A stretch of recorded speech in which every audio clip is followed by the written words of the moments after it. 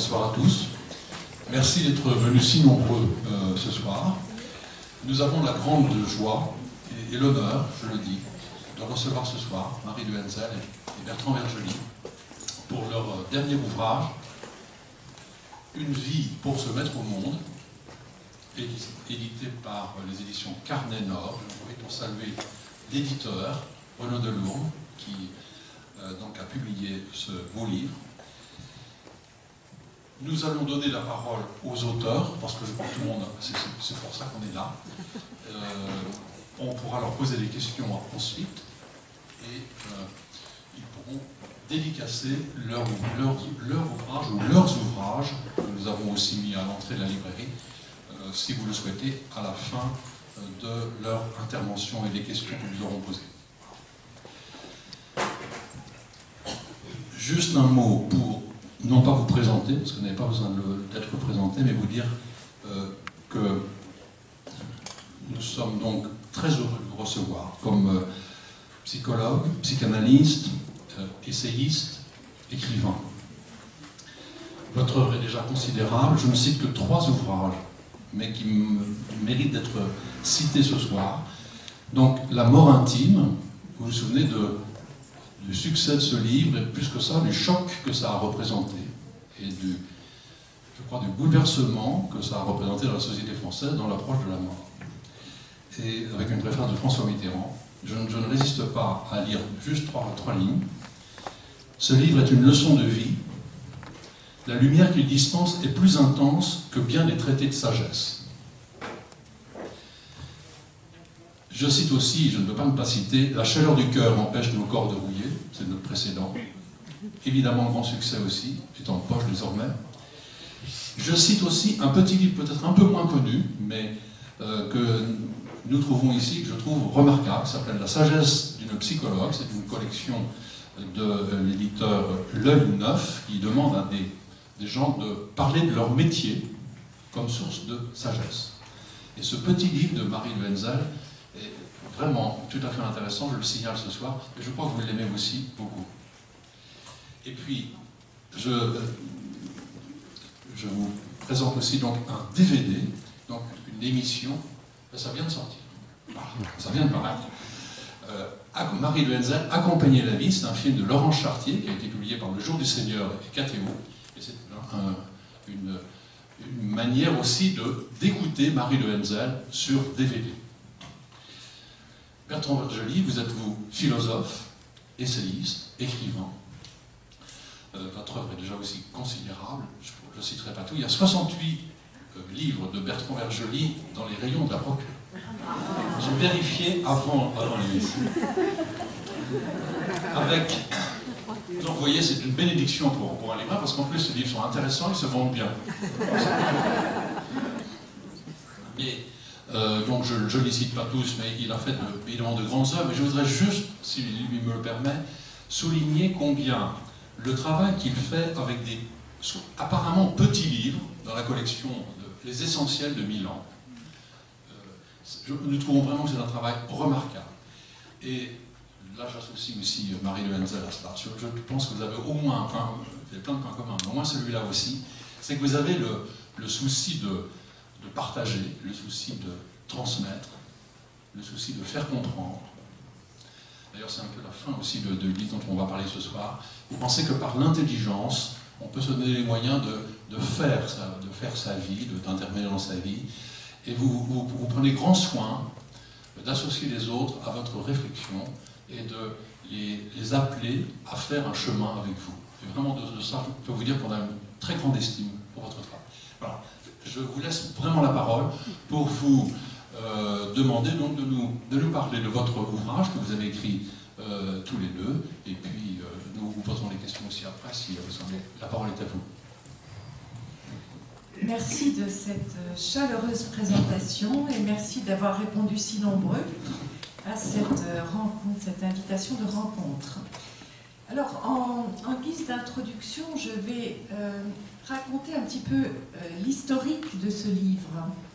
Parce que c'est important. Pourquoi un livre qui mêle la voix euh, d'une psychologue, d'une psychothérapeute et puis d'un philosophe nous avons, on nous a proposé il y a maintenant 4 ans d'animer un séminaire en Dordogne pour un groupe d'une cinquantaine de personnes sur le thème de vieillir, mûrir, s'accomplir. Et euh, nous avons donc euh, mené cette réflexion en interactive avec un groupe euh, sur, sur trois jours, avec une journée que j'ai animée sur le vieillir, Bertrand a animé la journée sur le mûrir, et puis nous avons mêlé nos voix sur la dernière journée qui était sur s'accomplir. Et puis, euh, notre éditeur, euh, Renaud Delourme, ayant écouté ce texte, euh, l'enregistrement de ce texte, a pensé, et c'était quand même son idée, de, a pensé que ça pouvait faire un livre. Donc à partir de là, nous avons donc repris, d'ailleurs assez fidèlement, les propos que nous avions eus, et puis nous, nous avons fait ce livre ensemble. Alors, ce qui est intéressant, c'est que euh, d'abord de souligner que quand on propose une réflexion sur, au fond, le sens à donner à cette deuxième partie de la vie, eh bien, beaucoup de gens répondent, euh, parce qu'il y avait quand même beaucoup de monde, et on sent que le, public qui était là, les personnes qui allaient de 45 à je dirais, 75 ans, peut-être même plus. Donc, sur 30 ans, ce sont des personnes qui ont envie de consacrer du temps à s'interroger sur le, défi euh, qui est le leur, qui est de, au fond, de tout faire pour euh, vieillir le mieux possible, vieillir euh, de façon intéressante, de façon intelligente. Et cette préoccupation, D'abord, je voudrais la souligner d'emblée parce que c'est quelque chose qui me frappe beaucoup dans un travail que je fais par ailleurs pour la caisse de retraite audience, la caisse de retraite des professions de l'audiovisuel, de la presse, du spectacle, de la communication, où j'anime euh, vraiment très régulièrement des séminaires sur cette question et où je me rends compte euh, que cette génération qui est la mienne, je suis de la génération d'après-guerre, celle que, dont on parle beaucoup dans les journaux ces jours-ci. Vous avez vu même hier euh, le titre, les, baby boomers, dont on parle beaucoup. Une génération qui a été très gâtée, c'est vrai. Hein, on, a connu les Trente Glorieuses, la parenthèse enchantée dont parle euh, Françoise Giroud. Enfin, on a, c'est vrai qu'on a vraiment euh, eu beaucoup de chance et en même temps, nous avons devant nous une longévité qui est inédite puisque euh, aujourd'hui l'espérance de vie est de plus de 80 ans, que tous les ans on gagne 3 mois d'espérance de vie, qu'on dit que euh, ceux qui naissent aujourd'hui, une personne sur deux sera centenaire, ça ce sont les, projets, les, pronostics des, sociologues, et euh, nous sommes donc devant quelque chose de tout à fait nouveau, parce que c'est vrai qu'il y a 40 ans, ce n'était pas du tout cette perspective. Euh, donc une longévité inédite, avec en même temps euh, quelque chose de tout à fait nouveau, c'est que notre génération a aussi des parents âgés qui vieillissent et qui peut-être aussi deviendront, euh, peuvent devenir dépendants, donc peuvent être aussi à notre charge. Et puis nous avons aussi une génération montante, qui est une génération qui qui n'a pas les mêmes facilités que celle que nous avons eues, qui est une génération qui, il y a des difficultés aussi. Donc euh, on est cette génération tampon. Et nous avons à, trouver... Euh, je sens très bien que cette génération n'a pas envie du tout, au fond, de baisser les bras, de se laisser avancer en âge d'une manière passive et dépressive, qu'elle a envie de prendre en main vraiment son vieillir, d'en faire une expérience heureuse, une expérience riche, et euh, et donc elle se pose des questions. Et il y a donc à la fois cette envie de relever un défi et en même temps la réalité qui est que euh, on est dans un monde qui, euh, a un regard désastreux sur la vieillesse, un monde où les représentations de la personne âgée, du grand âge sont des représentations souvent très négatives, un monde qui nous interdit de vieillir, euh, on le voit dans tous les, toutes les publicités, dans tous les, magazines féminins ou avec toute cette publicité anti-âge, euh, la sémantique est, forte, hein. ce n'est même pas de l'anti-ride, c'est anti-âge. On voit à quel point on nous interdit de cette avancée en âge. Euh, donc ce contexte d'interdiction de, de vieillir est effectivement très difficile si on veut en faire une expérience positive. Donc on a à combattre cette image, euh, et je crois que c'est un des défis que nous aurons. Et puis aussi, ma génération est une génération qui, a des peurs. Euh, il y a la, réalité, c'est quand même, qu'on a une vision euh, souvent assez noire de la, la vieillesse comme étant, on ne voit que l'aspect diminution, enfin on va, on va en reparler de cela, l'aspect détérioration. Euh, c'est vrai que le corps change, le corps diminue et que euh, finalement, beaucoup de personnes aujourd'hui ont l'impression que reprennent à leur compte donc, cette expression qui est connue de la vieillesse comme naufrage. Et c'est cette vision-là qui fait que nous avons tant de mal, au fond, à avoir une perspective euh, différentes. Alors, dans, le, dans ce livre, nous n'avons pas voulu, nous sommes donc partis de la réalité, nous n'avons pas voulu tout de suite passer à ce dont Bertrand va parler ensuite, c'est-à-dire l'autre face des choses. Nous avons voulu quand même aller voir de très près toutes ces peurs qui sont les nôtres et nous les avons énumérées pour euh, les nommer d'abord, parce que je crois que nommer c'est important, pour euh, aller voir dedans, c'est-à-dire vraiment entrer dedans, regarder de plus près ce, que, ce, ce qui nous fait peur, et peut-être aussi euh, trouver un chemin à travers ce qui nous fait peur. Alors nous les avons nommés, la peur évidemment de, de confronté à une image négative, d'ailleurs euh, la peur d'être, euh, au fond, d'être, euh, de devenir transparent, de ne plus, ne plus être désirable, aimable, de, plus, de ne plus être utile, cette image de soi, qui est ce narcissisme qui était corné. Il y a la peur évidemment de la, de la maladie, et, et la peur de la maladie d'Alzheimer est très présente dans notre société la peur aussi de la dépendance, devenir un poids pour les autres, un fardeau, la peur de, de l'isolement. Et nous avons fait une différence dans le livre entre isolement et solitude. L'isolement étant évidemment un poison. On sait que les personnes isolées sont des personnes qui se replient sur elles-mêmes et ne, ne trouvent pas le, chemin euh, d'un vieillir heureux. Et euh, alors que la solitude, c'est le lot de beaucoup de personnes qui vieillissent. Je crois que c'est le lot de, de, la vieillesse, mais il peut y avoir une bonne solitude, une solitude qui, est assumée parce que l'on est bien avec soi, parce qu'on est devenu un bon compagnon pour soi-même. Mais cette peur de l'isolement est quelque chose de très présent.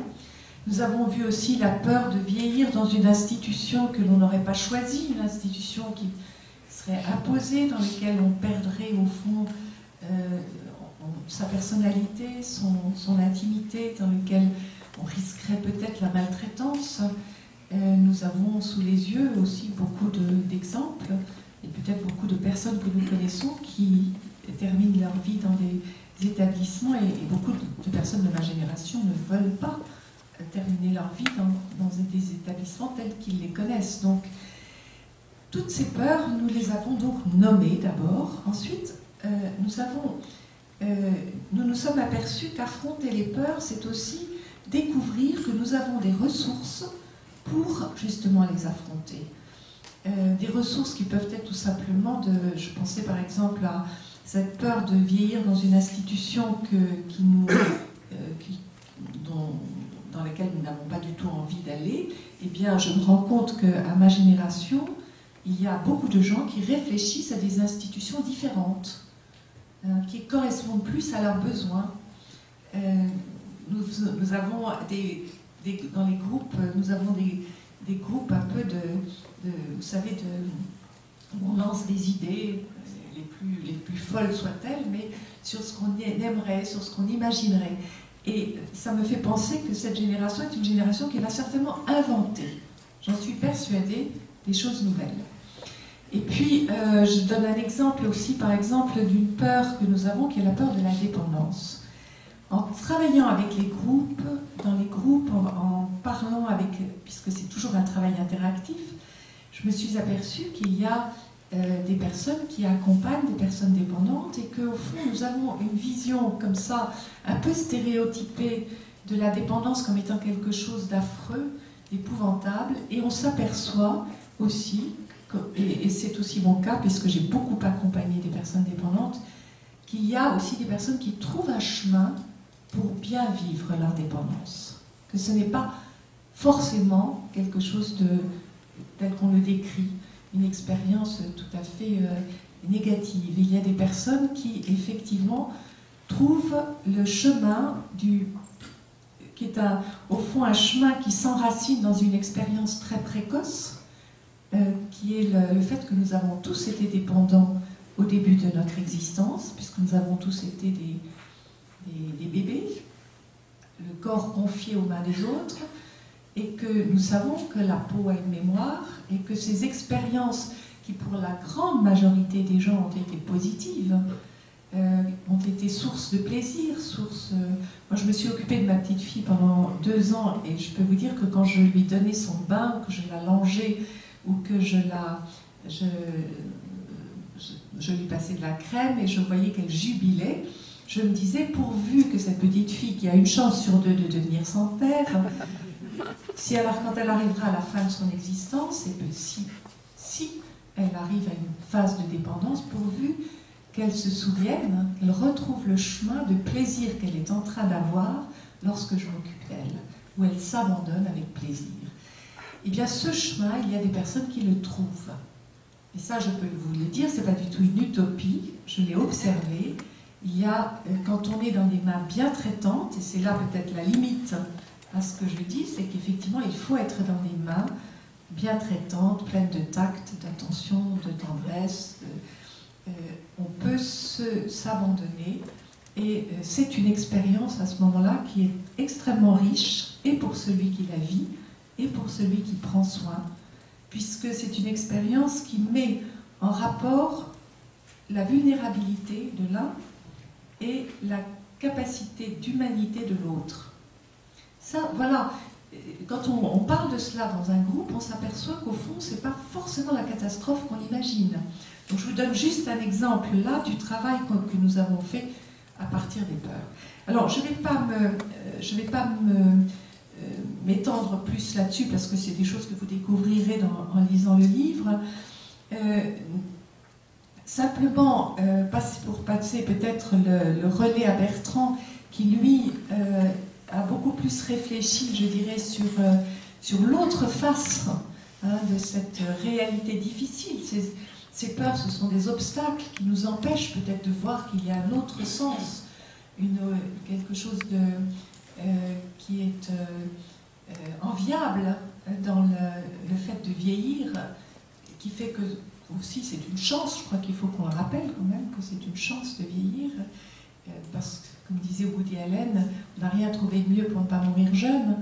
Il ne faut pas oublier que, que cette euh, avancée en âge... Alors je vais passer la parole à Bertrand, parce qu'il a pris le relais une fois que, que j'ai balayé toutes ces peurs, euh, en fait, balayé, enfin, que nous sommes entrés dedans et que nous les avons en quelque sorte dépassées, nous nous sommes interrogés sur la question de la, du sens de cette deuxième partie de vie. Donc je te passe la parole. Je crois qu'il faut qu'on comprenne bien la, méthode qui, a été la nôtre et euh, qui est une méthode authentiquement philosophique. Vous savez, lorsqu'on a affaire à la question de la vieillesse, au fond, on est dans une situation qui meurtrit tout le monde parce que nous vivons la vie dans la passion et le conflit. C'est humain, c'est ainsi. Si je regarde l'histoire, je m'aperçois que l'histoire est passée par deux phases totalement opposées à l'égard de la vieillesse. Il y a eu un temps où la vieillesse était adulée. Et c'était le temps de la gérontocratie, où les anciens dirigeaient la cité. Parce qu'on se retrouvait dans les valeurs de la permanence, de ce qui dure, de ce qui vient du passé, de ce qui a fait l'épreuve du temps. Et puis, plus récemment, nous sommes passés d'un monde à un autre. Quelle est la signification de mai 68 Mai 68, c'est l'apparition des jeunes à l'intérieur du monde, et c'est le fait que les jeunes veulent trouver leur place dans un monde qui n'avait pas prévu leur arrivée. Et là, nous sommes passés à une adoration de la jeunesse et à une mise en recul des anciens. Et finalement, ce rapport de passion, on le trouve dans toutes les, dans toutes les civilisations. Et on le trouve à l'intérieur de nous-mêmes. Dans toutes les civilisations, il y a une fascination pour les anciens et une fascination pour la jeunesse triomphante. Il y a en chacun de nous quelque chose qui aime l'ancien et quelque chose qui aime le nouveau. Et c'est là qu'il nous faut réfléchir et essayer d'avancer. Alors, je crois que notre méthode, au fond, elle est très hegelienne. Qu'est-ce que nous dit Hegel? Il nous dit une chose qui me paraît profondément juste. Nous avons tendance à penser dans l'immédiateté. Nous réagissons plus que nous ne pensons. Nous sommes contre. Nous sommes contre la jeunesse et donc pour la vieillesse. Nous sommes contre la vieillesse et pour la jeunesse. Je crois que ça meurtrit le monde. Alors qu'est-ce que c'est que l'expérience que l'on a faite? Eh bien, nous sommes partis du vieillir et nous avons au fond, d'être inconsciemment, suivi le précepte hegelien qui consiste à séjourner auprès de la chose même. Installons-nous dans le vieillir, installons-nous dans la réalité, et tout d'un coup, qu'est-ce que nous allons faire? Eh bien, nous allons découvrir autre chose. Et c'est ce que nous avons vu. C'est-à-dire que, euh, en explorant la vieillesse avec ses angoisses, avec ses difficultés, avec son âpreté, avec sa douleur, avec sa souffrance, nous avons découvert qu'il n'y avait pas que douleur, que souffrance, que âpreté. Il y avait d'autres choses qui se faisaient. Alors probablement parce que la vie est puissante et nous ne sommes jamais abandonnés, mais nous voyons les choses sous un autre angle. Alors, Marie est partie finalement des difficultés, car il ne s'agissait pas de faire un livre euphorique dans lequel nous idéaliserions la vieillesse en disant non pas Young is beautiful, but old is beautiful. N'est pas allé là-dedans.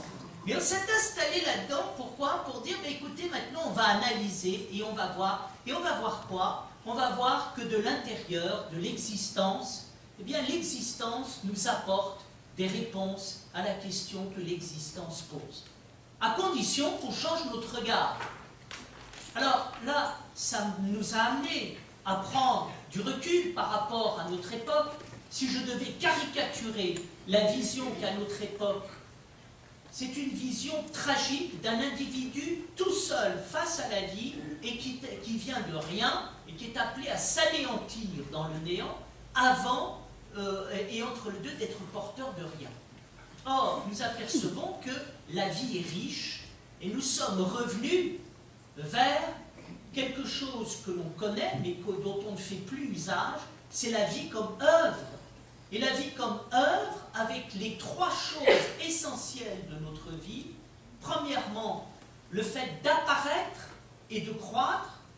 Ensuite, le fait effectivement de mûrir, d'être adulte. et euh, d'avoir ce temps qui est le temps de la plénitude des moyens, et puis quelque chose qui n'est pas rien, qui est le temps du déclin. Alors, je crois que si nous méditons euh, ces trois moments de la vie, nous apparaissons, nous apercevons quoi? Que chacun sont absolument essentiels pour nous structurer.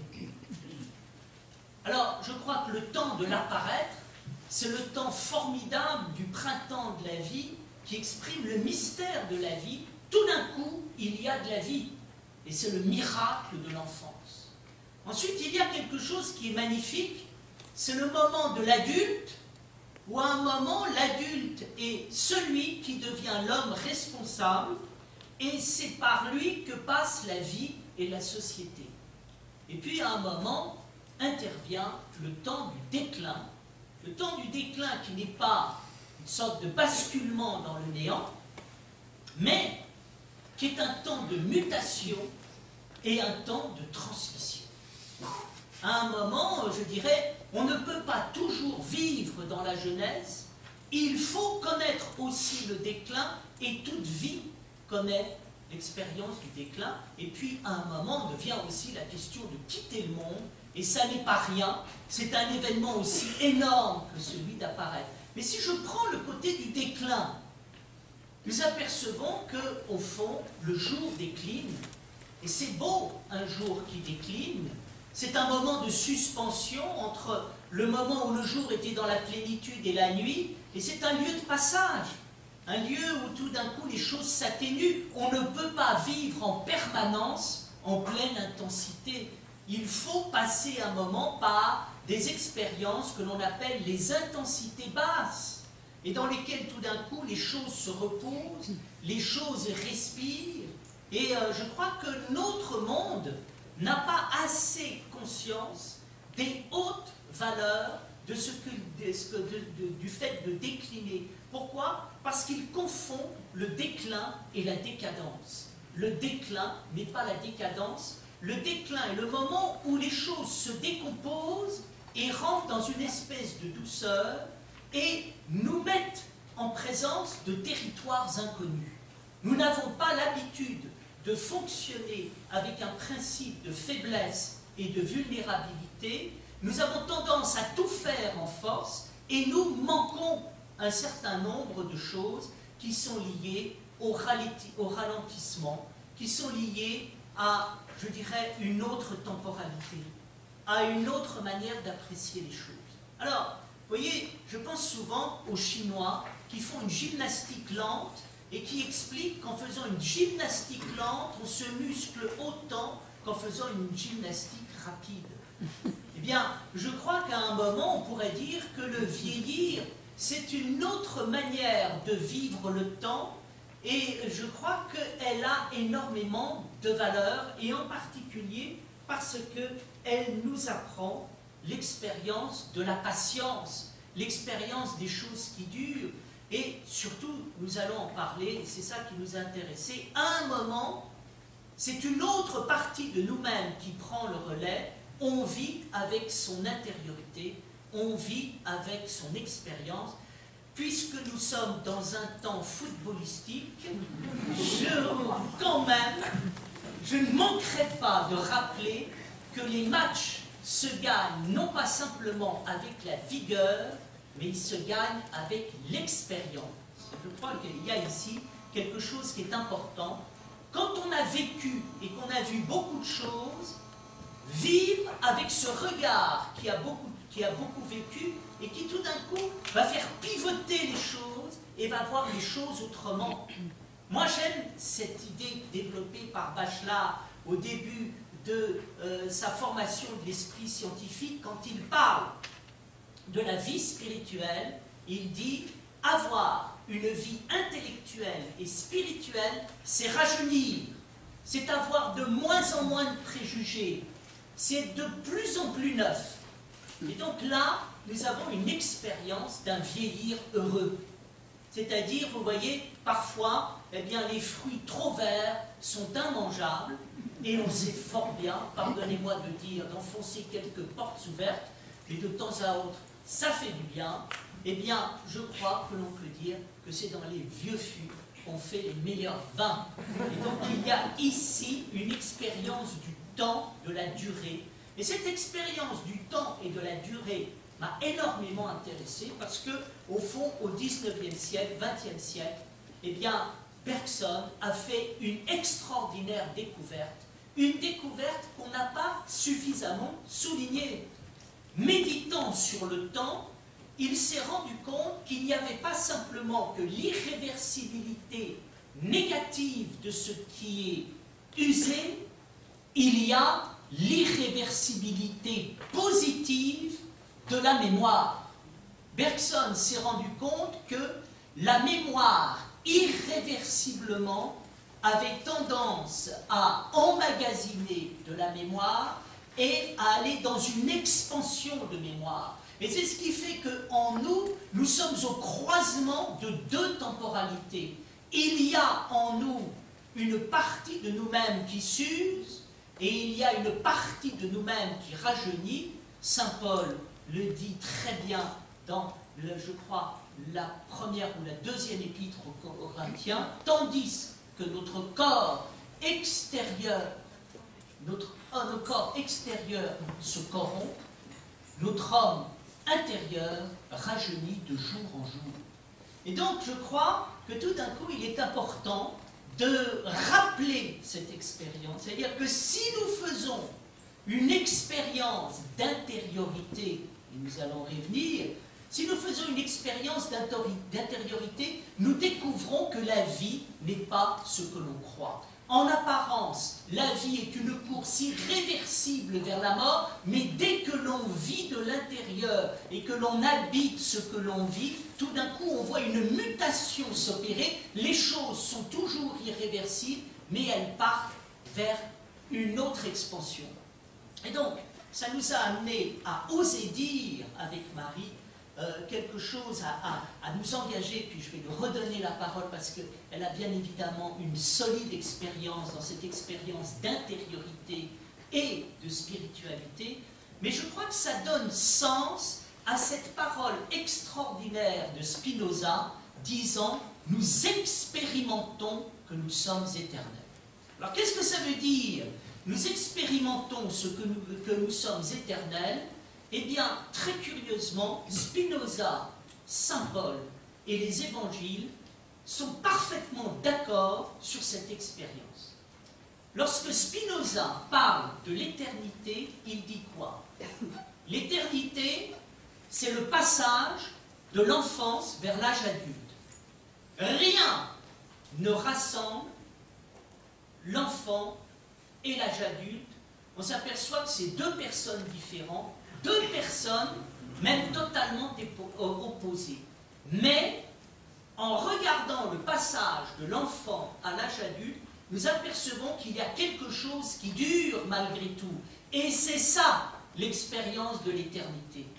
Et c'est tout à fait étonnant lorsque Saint Paul parle de la résurrection, il utilise la même image, l'image du passage de l'enfant à l'adulte, et il dit, vous n'avez pas vu vous croyez que c'est différent, mais il y a quelque chose qui est le même malgré les apparences.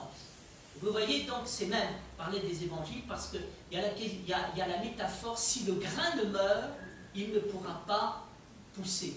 Mais tout, si vous reprenez le texte, tout est lié au passage de l'enfant à l'adulte. Alors, qu'est-ce qui nous est donné? Ben, Il s'agit ici d'explorer notre réalité et la réalité que nous vivons, que nous habitons de l'intérieur, va beaucoup plus loin que nous le pensons. Alors, quand c'est vécu, eh cela donne cette chose extraordinaire, cela donne, et nous avons tous des exemples de personnes qui sont âgées, en apparence, elles ont des cheveux blancs, mais elles ont quelque chose d'extraordinairement jeune, probablement parce qu'elles ont vu la vie. Voilà, donc je voulais simplement parler de ce moment d'intériorité, mais je crois que Marie a aussi des choses à dire par son expérience.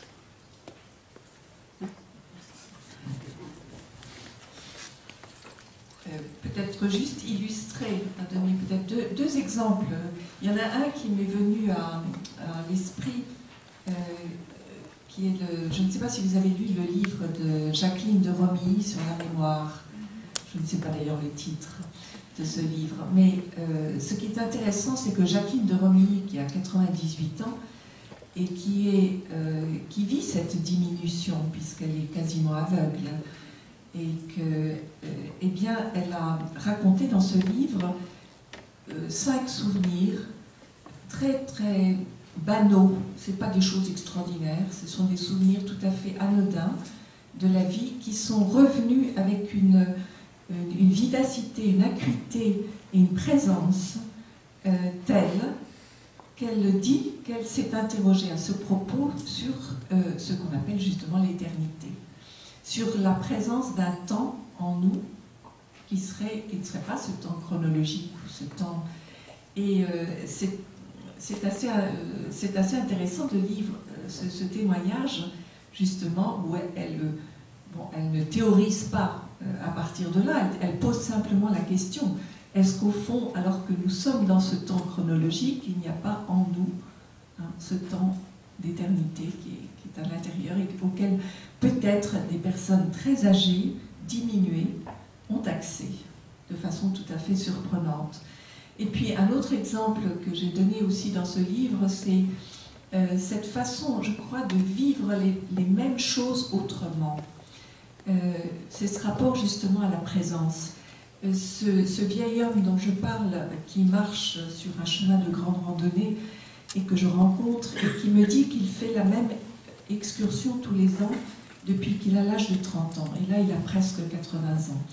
Et il me dit, mais quand j'avais 30 ans, je vivais cela complètement différemment. C'était un exploit sportif. Ce qui comptait, c'était l'effort musculaire, la vitesse. Et je ne voyais rien. Aujourd'hui, je fais la même excursion qui prend 5, 6 heures, 7 heures parfois. Je m'arrête souvent, je reprends mon souffle et je vois ce que je ne voyais pas quand j'étais plus jeune. Et euh, donc il me parle des bas-côtés, du chemin, des fleurs qu'il nomme, qu'il connaît par leur nom, euh, des moments où il s'assied et où il écoute euh, les bruits dans le lointain. Il me parle de ces moments de gratitude qu'il a lorsqu'il voit la beauté du paysage et qu'il se sent soulevé par, euh, par des merci qui montent du fond de, de lui-même. Et au fond, je me rends compte à ce moment-là de deux choses. D'une part, que cet homme est en train de me décrire une expérience contemplative, alors même qu'il marche, et donc qu'il il a cette autre façon de, vivre, de voir les choses. Et puis je me rends compte aussi d'une chose, c'est que cet homme est capable d'infiniment plus de joie que je n'en suis capable moi-même à cet instant. C'est-à-dire que je me suis dit, au fond, euh, il, a, il, est, il y a quelque chose en lui qui est plus développé que chez moi, hein, cette capacité d'accueillir la joie. Et ça m'a beaucoup frappé. Euh, je me suis dit, au fond, en vieillissant, eh bien, j'espère être capable d'élargir progressivement ma capacité à accueillir la joie et d'éprouver, comme cet homme, dans cet instant, une telle joie. Et ça m'a. Euh, j'ai relié ça à cette parole de euh, ce que m'a fait découvrir Annick de Souzenel, cette femme hébraïsante qui a dont vous avez certainement les livres ici, et qui m'a fait découvrir quand il y a le même mot en hébreu qui signifie euh, la personne ivre de joie et la personne très âgée, le mot. C'est le même mot. Alors c'est intéressant que de voir que dans cette langue, on a mis en rapport hein, la, capacité de joie et le grand âge. Alors deux petits exemples. Je crois que tu veux aussi nous parler de, au fond, la fin de notre la fin de notre livre, c'est-à-dire cette question de l'accomplissement et de la transmission. Je te laisse euh, en dire quelques mots et puis après on avec la salle. Où, est-ce que, est que ça nous amène, cette expérience, justement, de l'autre face des choses? Je crois que cette expérience de l'autre face des choses, et là nous sommes d'accord, c'est la découverte de notre capacité de présence dans la réalité. Je crois que le grand apport de la vie, c'est de développer un moment notre capacité de présence. Et je dirais de découvrir l'autre face de la vie. Qu'est-ce que c'est que l'expérience de la pensée? C'est ce qui se passe quand je découvre que je n'ai pas qu'une vie. Je n'ai pas que la vie du corps, j'ai aussi cette vie intérieure qui change complètement le rapport au monde à partir du moment où j'habite les choses. Et donc je peux voir les choses d'un autre point de vue. Et en particulier, je peux voir la mort d'un autre point de vue. Et je peux peut-être lui donner son véritable nom. Je crois que nous vivons dans un monde qui a oublié le véritable nom de la mort. La mort, c'est pas la mort. La mort, c'est le fait d'aller au bout d'une vie. C'est le fait d'accomplir quelque chose. C'est le fait à un moment de quitter le monde et de permettre à d'autres, avec d'autres forces, de venir et de renouveler l'existence. Nous avons une vision complètement individualiste qui ne pense plus la mort à travers la question, premièrement, de l'accomplissement et deuxièmement, de la transmission. je crois que dès qu'on est capable à un moment de se situer dans cette dynamique, eh bien, tout d'un coup, tout change. Et on s'aperçoit que même si la mort est émouvante, elle n'est pas triste. Ce qui est triste, c'est quelqu'un qui est désespéré, qui a perdu sa capacité de présence, qui a oublié qu'on ne meurt jamais seul, qu'on meurt avec la vie, qu'on meurt avec des forces qui nous permettent à un moment d'habiter ce moment. C'est ce que tu as démontré si bien dans euh, tes euh, travaux. Vivons ce moment qu'est le mourir, et tout d'un coup nous apercevons qu'il se passe des tas de choses, et même si nous sommes émus, nous ne sommes pas tristes.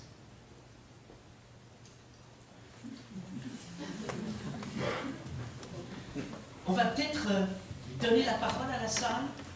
Bien sûr.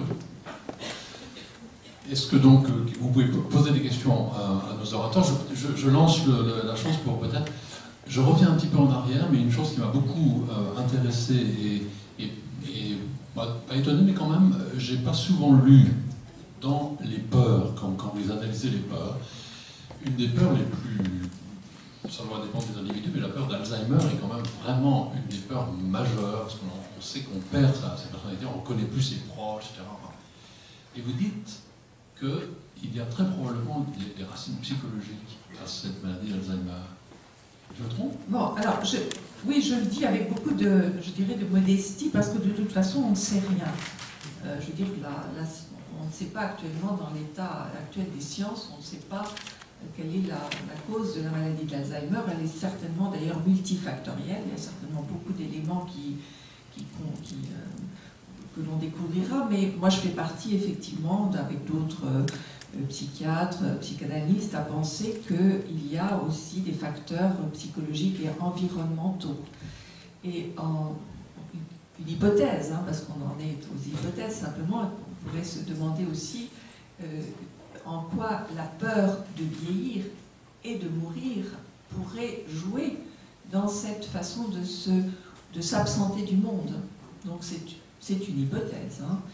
Et on peut travailler à partir Et euh, j'ai euh, d'ailleurs, ça m'est arrivé de travailler avec des parents qui avaient, enfin des, enfants qui avaient un parent euh, hospitalisé dans un établissement pour personnes atteintes d'Alzheimer et de, de me rendre compte en parlant avec ces enfants que la question par exemple de la mort n'avait jamais, jamais été abordée dans la famille.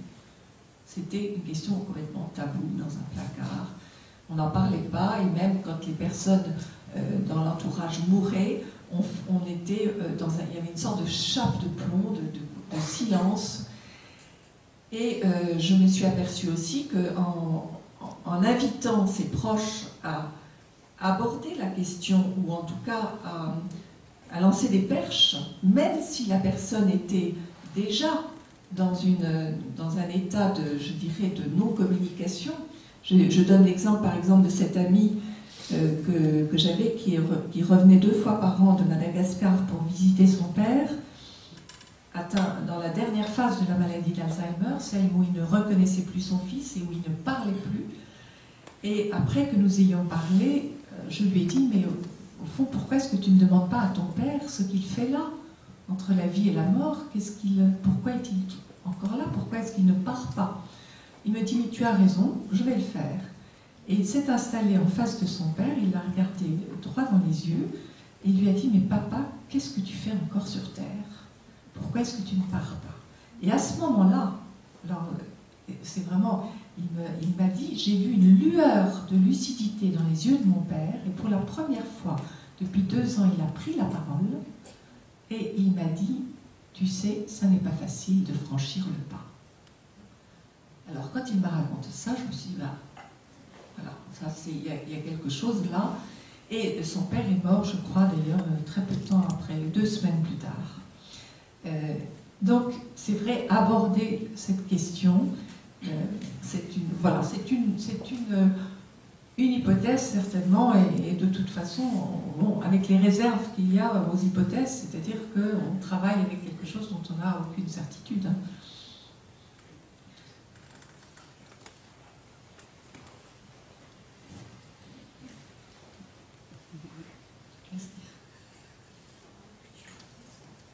La parole est à vous. Au sujet des... Prenez la micro si vous voulez bien.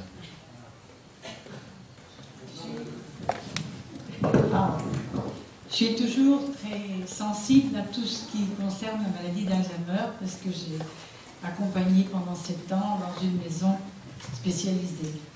Et ce que vous venez de dire au sujet de, de l'importance de parler avec ses parents, enfin avec son entourage, de la mort. Et j'ai eu l'occasion d'accompagner une dame qui était extrêmement, euh, qui souffrait terriblement avec des escarres terribles dans le dos. Et sa fille et sa petite fille essayaient en vain de la calmer, sans résultat bien sûr. Et en désespoir de cause, ils m'ont laissé seule avec cette dame. Je ne savais pas quoi dire, c'était très compliqué. J'ai chanté, je chante mal, mais enfin ça ne l'a pas trop perturbée.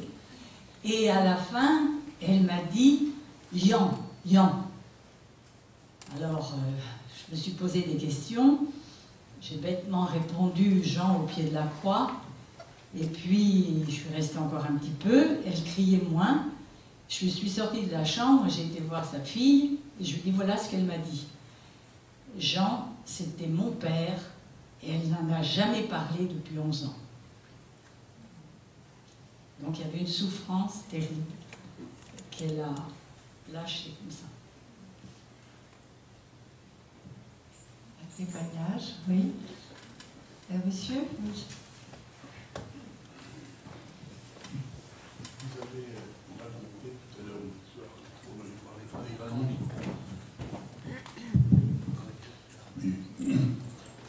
dans, dans votre livre, avec la, la chaleur du corps empêche le, le cœur, cœur. La, chaleur du cœur, la chaleur du corps. Et, ce qui m'a surpris dans vous exposez, c'est que vous n'avez, me semble-t-il, pas souvent parlé de l'importance de la tendresse, des caresses que certainement les personnes âgées, et peut-être ceux d'Alzheimer, attendent sans le demander. J'en ai parlé quand j'ai parlé de la dépendance. Oui, non, mais j'ai dit, dit que, les personnes dépendantes, justement, si elles étaient dans des mains bien traitantes, des mains, j'ai dit, avec du tact, de la tendresse, si, si, je l'ai dit tout à l'heure, et de la douceur, ce sont des personnes qui peuvent retrouver un chemin de, je dirais, d'abandon, euh, de, se laisser porter, euh, et certaines avec grâce d'ailleurs, euh, parce que justement, elles rencontrent ce, cet accueil, cette qualité d'accueil. Mais ce que vous dites est tout à fait vrai. C'est vrai que, que cette... Que cette euh, je veux dire, je crois que toute notre vie, nous avons besoin de tendresse. Ça commence avec l'enfance, et je crois que nous en avons besoin tout au long du, chemin. Et, et puis, euh, bon, et, et ce que vous dites, c'est qu'au fond, c'est vrai que c'est quelque chose qui, fait un peu peur aussi de voir cet isolement de certaines personnes qui n'ont plus aucun contact. Alors ce qui est intéressant aussi dans ce qui se fait actuellement, dans les, progrès que l'on essaye de faire pour humaniser justement enfin, vraiment mettre plus de dignité, d'humanité, de chaleur humaine dans les établissements, c'est qu'on travaille sur le contact. Regarder les personnes, euh, les, établir une relation avec elles, être dans la rencontre. Hein. ce qui implique évidemment de les toucher aussi, de, voilà, c'est ce manque de contact dont beaucoup de personnes effectivement manquent et à ce moment-là elles se replient sur elles-mêmes et nous connaissons un tableau hein, assez désastreux de ces personnes qui, voilà, qui, qui, sont dans une souffrance et une solitude énorme. Ne voyez-vous pas qu'on n'en parle jamais Vous êtes une des premières à parler de, justement de cette manière de vivre, de mourir. Et je trouve que pour avoir vécu, c'est très important d'avoir une tendresse. Oh, oui, oui, enfin, je je sais pas si je, pense pas que je, pense qu'il y en a d'autres qui écrivent aussi sur ce, sur, sur ce thème, mais je pense que c'est et puis il y a beaucoup il faut quand même dire qu'il y a eu beaucoup d'écrits aussi sur euh, de, de, soignants, de personnes qui sont dans des établissements comme ça et qui, euh, par leurs écrits, essayent de faire bouger les choses. Je, je rajouterais juste une chose, je crois qu'il faut les caresses avec les mains, mais il faut aussi les caresses avec les mots et avec les pensées. Je crois qu'il faut caresser la vie. À ce moment-là, il faut caresser en retour. La vie, je dirais mentalement, arrêter de penser que la vie est un sale coup qui nous a été fait et que nous sommes perdus et seuls. Vous voyez, je crois que c'est une manière de tendresse avec la vie.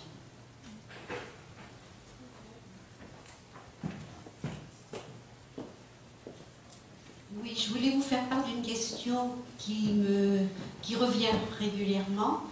À 92 ans, ma mère ne communiquait dans les derniers mois que par le regard. Et, et lorsque mon frère est décédé, je me suis dit, est-ce qu'il faut le lui dire? Et donc, est-ce que là, l'exigence de vérité est apporter quelque chose? Donc, je le lui ai quand même appris. Euh, elle est, et au bout de quelques jours, elle a parlé en disant Je ne pensais pas que perdre un enfant était aussi difficile. Et elle s'est éteinte quelques, quelques semaines après. Mais je reste quand même, je pose encore la question est-ce qu'il fallait le lui dire? Je crois que vous savez que vous, savez que vous avez bien fait.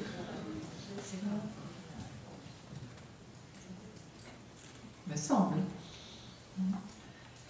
Mais peut-être que votre interrogation et votre doute montrent autre chose, c'est que quand on, a une parole qui libère l'autre, qui délivre, il ne faut pas oublier qu'il n'y a pas que les médicaments qui délivrent, la parole délivre.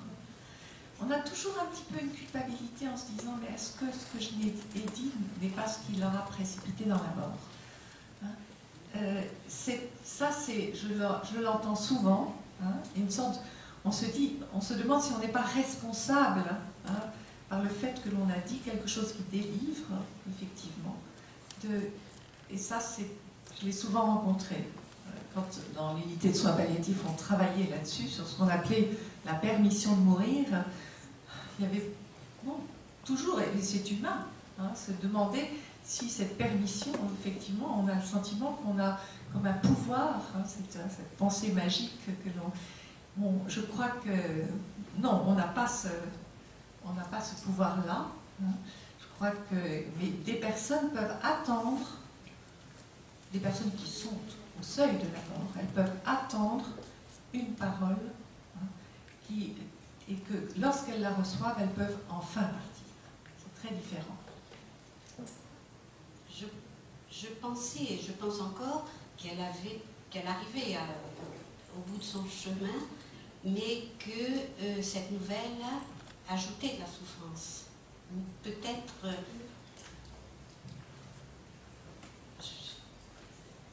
est-ce que c'était vraiment nécessaire?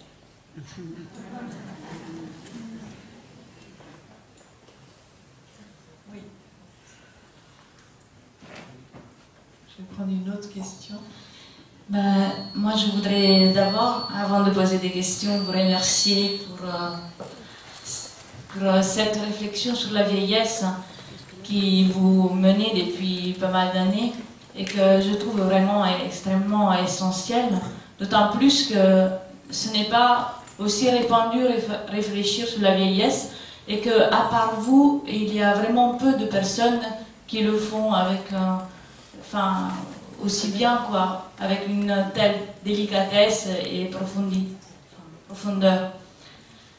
Et je pense vraiment que la, la, vieillesse, c'est la, la perspective la plus vraie pour, euh, à partir de laquelle il faudrait regarder toujours la vie sans un être piégé, je trouve. Euh, moi, je, bah, euh, je, j'ai 35 ans et je, je m'occupe. Enfin, j'ai découvert ça pas seulement avec vos livres, mais aussi avec les personnes âgées même, parce que je suis infirmière et, j'ai beaucoup travaillé avec les personnes âgées, mais en particulier parce que j'ai choisi avec euh, la communauté Saint-Égidieu de m'occuper de personnes âgées. Et au fait, j'en ai, ai retrouvé que cette intériorité dont on parlait, cette euh, vie, euh, cette spiritualité, hein, enfin, dont, dont, M. Vergely parlait, c'est un peu quelque chose que même les personnes âgées nous restitue un peu. Euh, je pense que quand, on, devient ami d'une personne âgée, euh, à ce moment-là, euh, on retrouve, enfin, moi je pense que c'est retrouver un réservoir de sentiments. Les personnes âgées restituent ce que on n'a plus osé faire et dire et exprimer pendant la vie adulte. toute une sorte de tabou, enfin, on peut pas parler de sentiments, on peut plus dire aux gens euh, je t'aime alors qu'on n'est que des amis. Et je trouve qu'en étant ami de personnes âgées, j'ai retrouvé voilà, tous ces sentiments-là, toutes ces, expressions d'amour de, dont on est avare pendant la vie adulte et qu'en réalité c'est l'essentiel d'une vie et qui, aide à vivre et aussi à retrouver justement cette euh, cette intériorité, cette vie qui va au-delà, en fait, comme il le disait. Et, et voilà, enfin, donc euh, surtout je voudrais vous remercier et, euh, et aussi vous poser, enfin, je me demandais aussi pourquoi, malgré toutes ces réflexions, réflexions on n'est toujours pas capable de accueillir, de faire vivre mieux les personnes âgées, malgré justement la vie euh, s'allonge, mais je trouve qu'il n'y a pas encore de véritables réponses euh, pour garantir ben, une assistance auprès des personnes âgées à domicile, par exemple, euh, pour garantir aux personnes âgées qu'une fois qu'elles se retrouvent à l'hôpital, elles ne sont plus déportées au bout de la région parisienne, voire, ailleurs, alors que c'est compliqué d'aller les voir. Enfin, je trouve que la vie pour les personnes âgées, c'est encore très difficile. Quoi. Oui, moi je crois que, d'abord, merci pour votre témoignage, parce que je crois qu'il y a quelque chose, vous voyez, on ne rêve pas quand on parle de cette intériorité, quand on parle de cette amitié, quand on parle de ce qui se passe de délicat, de fin dans la communication et l'échange. Je crois qu'il y a, euh, si pour répondre à votre question, notre société a été très surprise par ce qu'elle a vécu euh, d'abord, elle a découvert les jeunes, et puis ensuite, elle découvre maintenant le troisième et le quatrième âge. Elle découvre des gens qui vont vivre beaucoup plus longtemps. Et après, elle découvre quelque chose d'aussi nouveau, c'est-à-dire qu'il y a des gens qui viennent mourir à l'hôpital. Et puis, elle ne sait pas. Et puis, elle apprend. Et puis, il y a de la solitude, il y a la ville. Donc, il y a beaucoup de choses. je crois que les, les gens, euh, bon, ben, ils ne savent pas. Ils apprennent, ils ne sont pas mal intentionnés. L'État fait beaucoup de choses, pourrait faire encore plus, mais euh, je crois qu'il y a beaucoup de choses qui ont changé et qui vont encore changer. Peut-être pas assez vite, mais je pense en tout cas, si vous voulez, je ferai plutôt confiance à la société dans laquelle on est, qui a décidé d'aborder le problème en face qui a décidé de, bon, d'aborder cette question des retraites, d'aborder cette question de la mort à l'hôpital, d'aborder cette question du jeune retraité, qui est un nouvel troisième âge, voyez, qui est une nouvelle, une nouvelle population. Donc voilà, je crois que si on donne le temps à notre société euh, d'assimiler ces changements, et puis si on a des, hommes politiques responsables et décidés qui sont prêts à prendre le problème en main, ben, je pense qu'on ne sera pas submergé par ce problème.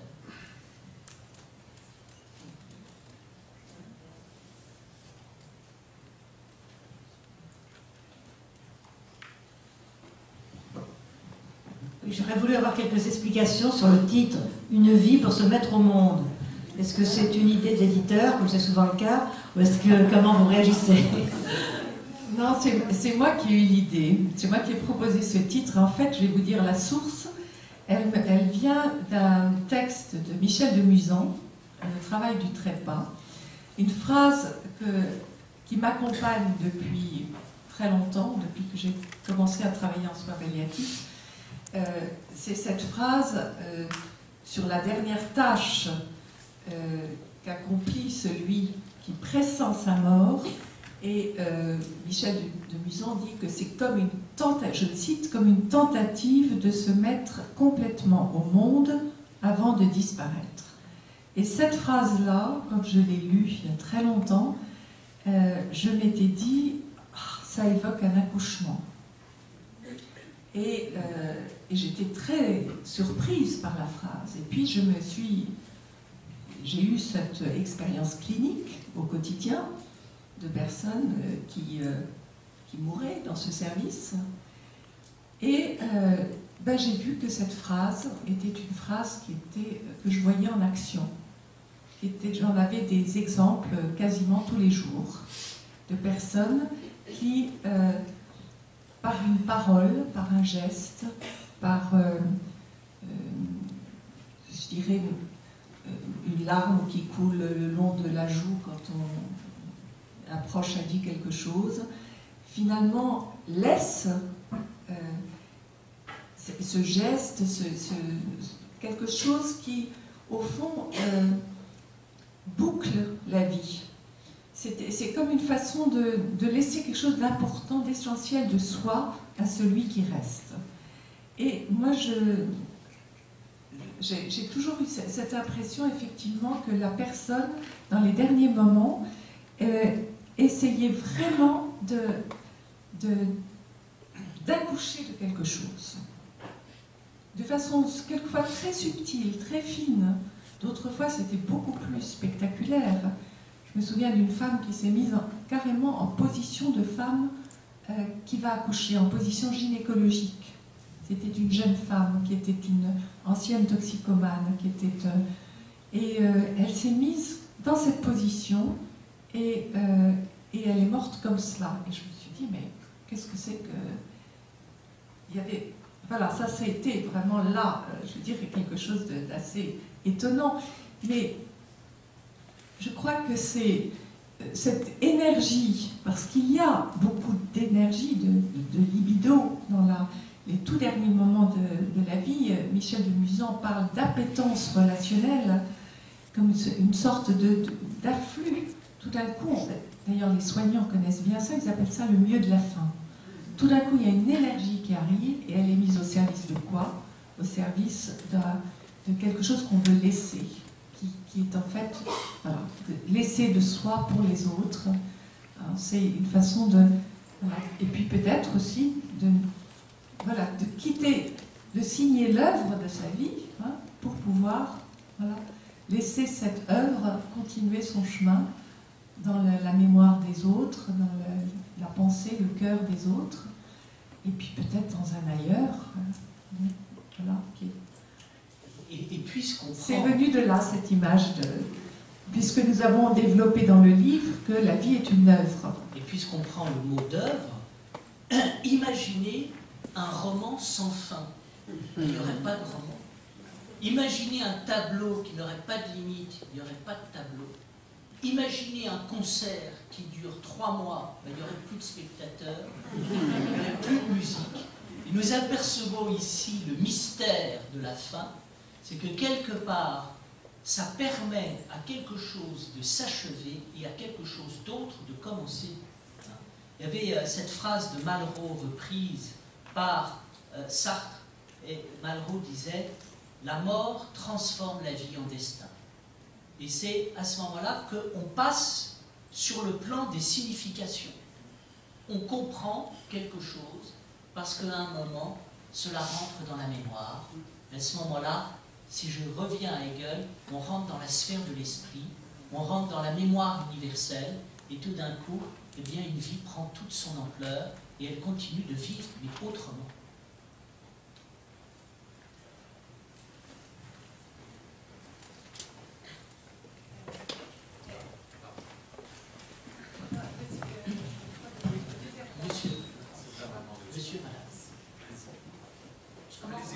Oui, donc je vous remercie infiniment pour votre communication. Je voulais parler juste avant parce que là l'atmosphère était détendue et je vais peut-être un peu plomber l'ambiance. Euh, c'est-à-dire qu'en fait, vous avez parlé des peurs. Enfin, tout ce que vous avez dit, c'est absolument juste. Je vais vous dire que je suis, qui je suis. J'ai une maman qui était 17 ans en maison de retraite. Un troisième pacemaker posé, je dirais pas contre ma volonté, mais oui, on m'a traité de fille assassine. Quand j'ai dit à 90 ans, est-ce que vous pensez, elle ne me reconnaît plus, est-il nécessaire de poser un troisième pacemaker? C'était l'hôpital Bichat.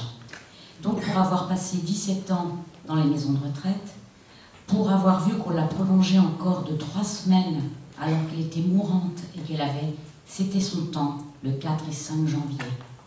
On l'a prolongée, on lui a donné des, traitements hypercaloriques, ces escarres ont grandi au point que je ne rentrerai pas dans des détails sordides, mais ça a même posé un problème aux personnes qui s'occupent des personnes décédées. Donc quand on voit ça, j'entends tout ce que vous me dites. J'entends quand vous dites que euh, on découvre, on ne savait pas qu'il y avait des vieux qui en auraient autant, etc. Mais je crois que les choses se font beaucoup trop lentement. Parce que j'ai vu plusieurs maisons de retraite et la dernière dans laquelle elle était, qui était une maison tout à fait sérieuse, mais avec les problèmes qui se posent, pas assez de personnel, des personnels épuisés par les toilettes et par les installations, les repas. Ils n'ont plus le temps. Et comme euh, dernier exemple, le dernier Noël qu'a passé ma mère, il y avait une, un, petit groupe, un petit groupe de négros spirituels qui sont venus, bénévoles, des chrétiens qui sont venus. Et donc, euh, en fait, euh, autour de ces 30 personnes très âgées, très très âgées, il y avait à peu près trois personnes, trois familles. Et donc le personnel n'était pas là. Et bon, j'ai un peu d'énergie en moi, je suis enseignante. Et ma fille qui est un peu terrorisée à côté de moi, qui avait quand même 25 ans, euh, je lui dis, mais s'il faut taper dans les mains, etc., elle est plutôt introvertie. Là, je l'ai un peu obligée. Et tous ces vieux étaient complètement, euh, comment dire, vous savez comme ils sont, au fond de leur siège, la tête baissée, passifs. Donc là, il y a un problème. Vous avez un groupe qui vient bénévole le, lendemain de Noël ou le jour de Noël, les familles qui ne sont pas là, et, surtout le personnel qui, n'est pas là pour stimuler. Donc, moi, ma grande question ce soir, c'est euh, est-ce que vraiment les institutions, vous voulez quand même peut-être euh, avoir des rapports avec des personnes responsables est-ce qu'on va faire les choses qui s'imposent? Parce que là, on paye des sommes fantastiques chaque mois et on n'est pas sûr que nos personnes âgées sont, sont encadrés, comme vous le dites, caressés, écoutés. Vous parlez de relations subtiles, mais... je, vais, je, vais, vous interrompre parce qu'il y a encore une question et qu'il va falloir que... Mais Madame, vous, vous dites quelque chose que nous savons, qu'il y a effectivement beaucoup à faire. Euh, j'ai dit tout à l'heure que notre génération, j'en suis persuadée, est une génération qui va œuvrer, qui va, se, qui va certainement être active pour que les choses changent. Parce que nous n'avons pas envie de vivre ce que vous, êtes en train de, nous décrire. Donc je crois, j'ai assez confiance dans l'énergie que je vois autour de moi pour essayer de changer les choses. Il y a encore une question et puis je crois qu'ensuite on va arrêter. Je ne sais pas si euh, ce que je vais dire a quelques valeurs maintenant, parce que c'était simplement rebondir sur, tout ce que vous avez dit et euh, ce qui me venait euh, comme association. Je pensais à Michel Henry, comme ça, brutalement, qui disait qu'il y avait deux naissances, la naissance au monde et la naissance à la vie. Et alors, ce qui me venait euh, à travers ce que vous disiez, c'est que peut-être euh, on est au monde, mais il faut attendre la vieillesse pour naître à la vie. Et ça me faisait rebondir sur, ça a éclairé autrement cette phrase, enfin ce vœu de, du psychanalyste Donald Winnicott qui était entrer vivant dans la vie. Euh, euh, entrer vivant dans la mort, oui, oui, là, je... entrer vivant dans la mort. Voilà, exactement, c'est un lapsus. Euh, parce que c'est justement, peut-être, on touche vraiment au fond de la vie, dans la vieillesse. Voilà, l'intervention était de Alain Anselec qui a fait une très belle intervention dans le congrès, euh, le colloque qui a eu lieu le week-end dernier, euh, La cause des aînés à la Maison de la Chimie. Et puis vous avez écrit aussi un très joli livre dont j'ai pas le titre exact. L'ouverture à la vie. L'ouverture à la vie, voilà. Ils nous font l'honneur d'être là aussi. Je voudrais juste rajouter une chose, parce que ce que vous dites là, c'est quelque chose qui est vraiment pour moi euh, crucial à l'intérieur de ma propre pensée. Je pense qu'on quitte le monde, mais je pense qu'on ne quitte jamais la vie. Et je crois que souvent les gens confondent le monde et la vie. Ils trouvent que le monde est terrible, que la vie est terrible. Ce n'est pas la vie qui est terrible, c'est le monde. Et vous voyez, je pense à Ethel Soon qui était dans son camp de concentration, et elle était capable de dire la vie est belle parce qu'elle avait le sens de la vie. Elle n'a pas dit les camps de concentration sont beaux. Elle a dit la vie est belle, et qu'est-ce qu'elle voyait? Même au cœur des camps de concentration, la vie était présente. Et donc là, on est sur des choses, des, noyaux d'être, vous voyez C'est-à-dire, je crois qu'il y a en nous quelque chose qui est hors temps. Tout ce qui est profond, tout ce qui va loin est hors temps. Et la vie est hors temps. Et donc, quand on arrive à se mettre sur ce canal, je vous assure que tout d'un coup, ce qui d'habitude nous angoisse et nous effraie, eh bien tout d'un coup ne nous angoisse plus, ou ne nous effraie plus, ou en tout cas, nous avons d'autres moyens de les aborder. Merci vraiment.